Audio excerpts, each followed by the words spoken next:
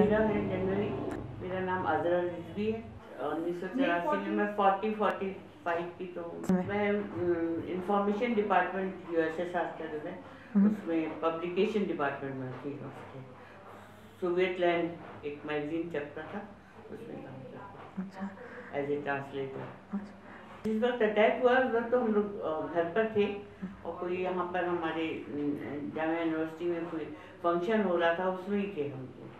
अच्छा। और वहाँ पर हम लोग को पता चला तो बहुत ज़्यादा हम लोग को परेशानी भी हुई उसका इजहार भी हुआ। और ये लगा कि क्या होगा? वक्त तक ये नहीं इमेजिन कर सकते थे कि ऐसा कुछ होगा। लेकिन इंदिरा गांधी के लिए बहुत बहुत ज़्यादा दुख लोगों में था यहाँ पर। दूसरे दिन हम लोग ऑफ़िस पहुँचे इनको न्यूज़ इसको देना है। वहाँ जाके बिल्कुल दूसरा वो लगने लगा। एक तो हमारे जितने सरदार कुलीग्स थे वो लोग आ नहीं रहे थे। हम्म। जो नॉन मुस्लिम कुलीग या मुसलमान जो और लोग आ रहे थे तो वो बता रहे थे कि क्या हो रहा है। तब भी हम लोगों को उस पर बिलीव नहीं कर पा रहे थे कि इतना ज़्यादा हो सकता है। हम्म। लेकिन जैसे जैसे वक्त गुजरता गया और खबरें आती गई। तो हाफ़ डे उन्होंने करके उन्होंने कहा आप लोग जाइए घर क्योंकि हालात ऐसे हो रहे हैं। तो हम लोग ग्रुप में निकले।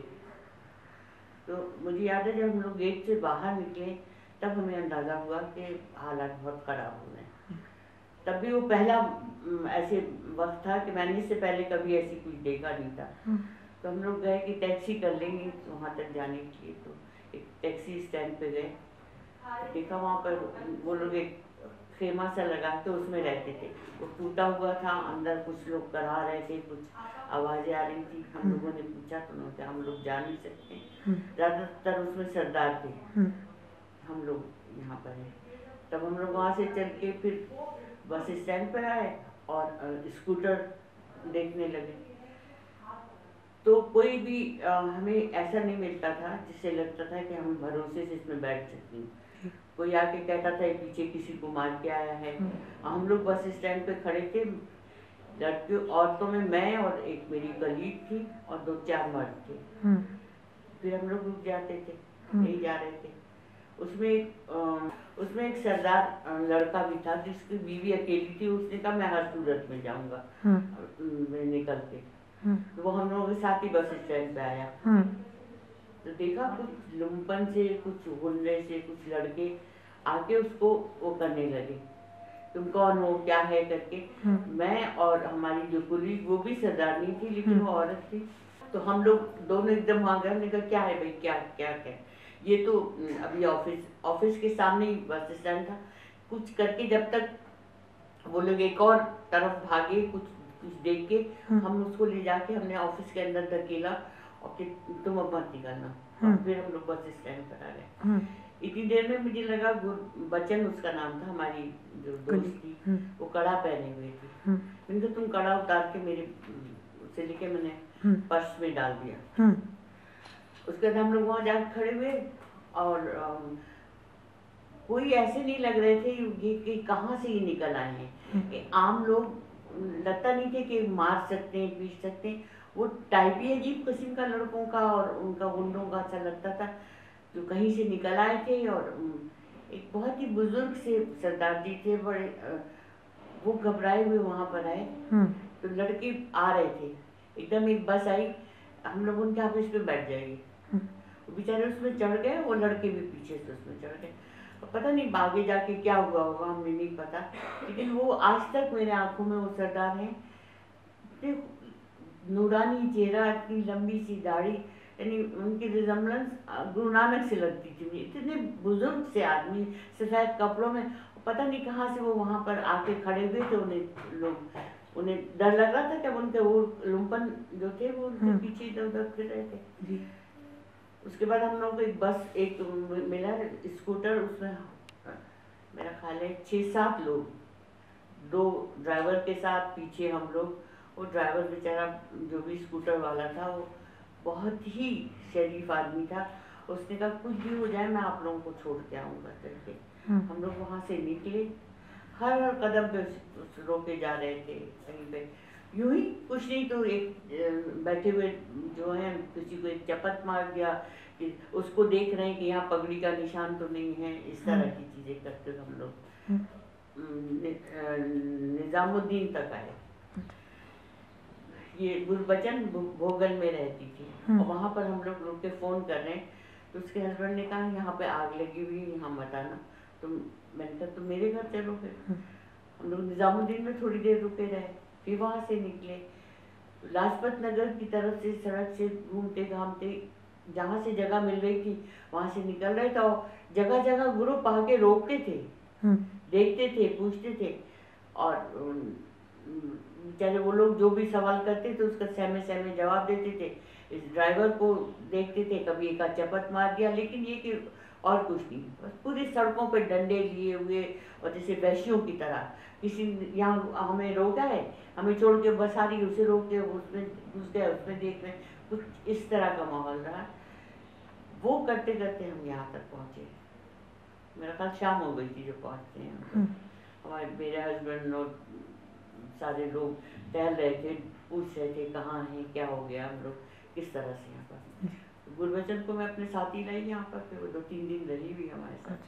हाँ फिर तो वो कर्फ्यू हो गया था उसके बाद तो बहुत ही हंगामा हो रहा था फिर तो जाने का सवाल ही था। लेकिन उसके बाद ये हुआ था कि हम लोग जो मैं मेरी छोटी बहन है वो और उसके ग्रुप उसके साथ हम लोग भी निकल के कहीं पे फ्रेंड्स कॉलोनी में जा रहे थे आगे जा रहे थे लोगों से बात कर रहे थे।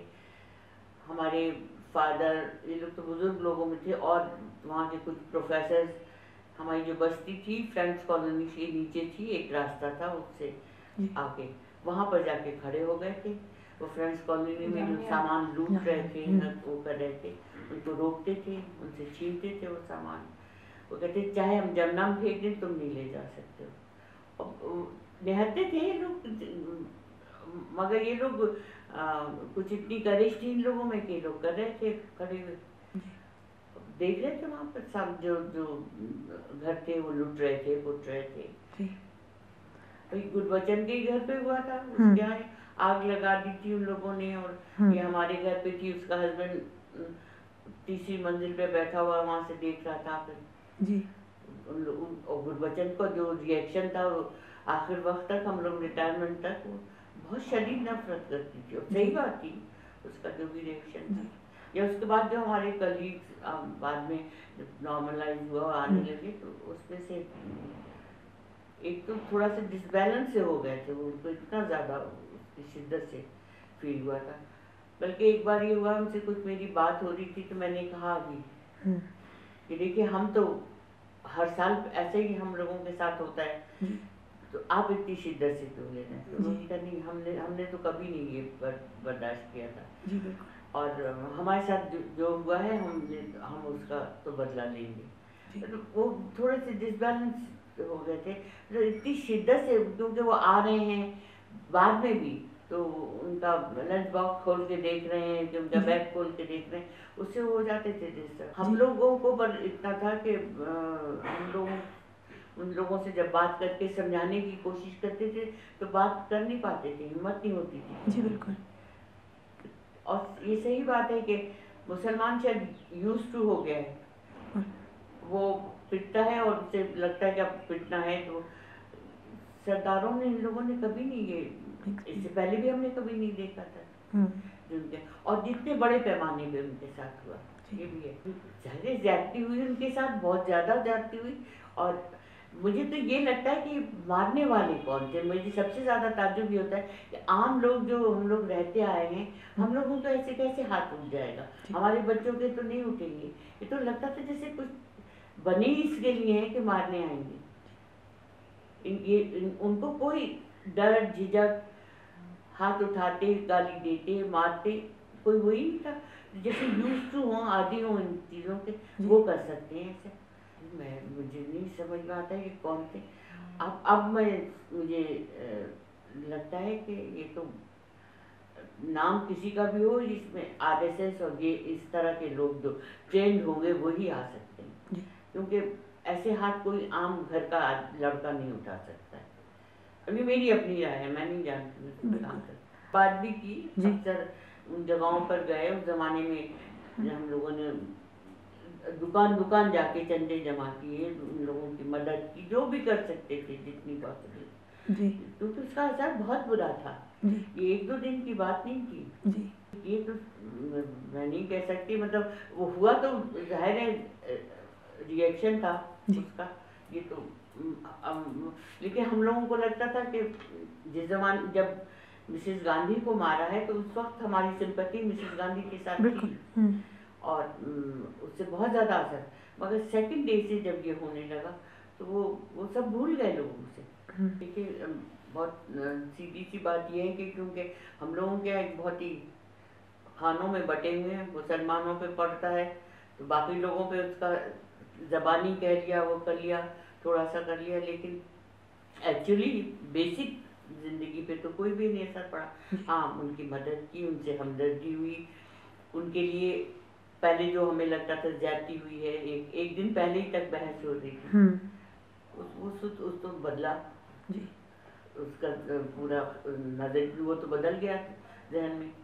उन लोगों के साथ जितनी जाती हुई उसका तो कोई हल ही नहीं। तो डर तो लगता था और जिस तरह से ये लोग आते थे कुलीग्स हमारे और जिस तरह जो सरदार जो थे नॉन सरदार भी हम्म। जो जिस तरह से बातें होती थी वो तो मेरा ख्याल है सालों में ही इस तरह की किसी ने बताया कि उनका कुलीग था से बराबर में रहता था उन, उन- वो उसकी मदद करने जा रहे थे उसे बचाने के लिए तो उसे टायर में बाँध के उन्होंने जलते हुए देखा तो वो आया है तो हफ्तों वो बेकार है ये उसको कि उन मेरी नज़र के सामने है या मुझे ही लगा था गुरबचन को जिस तरह से मैं लाई थी और हम्म। उसका कड़ा मैंने अपने पर्स में डाल दिया था। अगर मेरे ही पर्स वो छीन के देखते तो मुझे समझते कि मेरा कड़ा पड़ा है मुझे मगर उसके घर जाके उसको देखना वो उस करना उसका बहुत असर था। वो जिस तरह से रिएक्ट करती थी बहुत ज़्यादा शिद्दत से करती थी तो लगता था सही करेगी। जायज़ है उसको करना चाहिए इस तरह जैसे मिसेस गांधी की डेथ जब हुई है तो मेरी मदर हम्म, ने बहुत अफसोस का इजहार कर रही हूँ कर। रही तो गुरबचन में ही बैठी तो उसने कहा क्यों अम्मी ऐसे कर रही हैं? हम्म, तो मैंने कहा देखो ये पुरानी लोग हैं लेकिन मिसेस गांधी से दूसरी तरह का वो है। हम्म, वो ये नहीं कह रही थी कि अच्छा हो रहा है ऐसा है बल्कि ये कह रही थी देखो वो तो मर गई लेकिन ये ये भी हो गया उसकी मौत भी ठीक से नहीं हो पा रही है जैसे तैसे ले जा रहे थे बहुत जल्दी में वो कर रहे थे। हम्म, उसने थोड़ी कहा होगा कि मार दो जी, मारने लगो। हाँ नहीं टीवी पे तो हाँ बहुत या- मुझे याद नहीं है टीवी का तो। टीवी में लेकिन मुझे अनाउंस ही नहीं कर रहे थे पहले तो हाँ?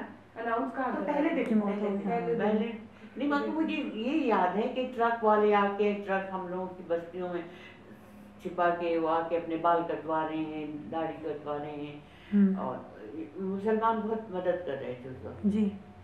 या मेरा ख्याल है आम नॉन बिल्कुल, मदद कर जी, रहा था उसमें मुसलमानी की बात नहीं आम नॉन सिख मदद कर रहा था। ये इस लुम्पन जो वो था इस इन इस इन ग्रुपों को छोड़ के। जो। लोग रह रहे थे मोहल्ले पड़ोस को छुपा रहे थे वो कर रहे थे आके बताते थे किस तरह से हो रहा है। फिर हम लोग चंदा करने निकले खाने कपड़ा और ये लेके जाते थे उन लोगों के यहाँ। लेकिन जाके जो हाल देखते थे उससे बहुत बुरी गलियों में जो जिस तरह से एक एक घर में कई कई लोग गए एक बूढ़ी औरत बैठी है। हम्म, तो मतलब बहुत नाकाबले बर्दाश्त थी वो चीज़।